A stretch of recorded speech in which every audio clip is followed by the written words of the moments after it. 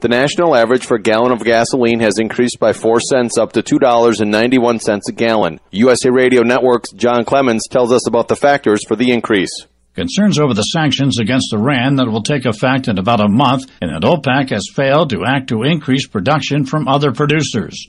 Patrick DeHaan is with GasBuddy.com. The national average is up 4.5 cents per gallon in the last week and currently is holding at about $2.91 a gallon across the U.S. That's the highest tally we've seen since mid-June and comes on the heels of oil prices that remain near a four-year high at about $75 a barrel.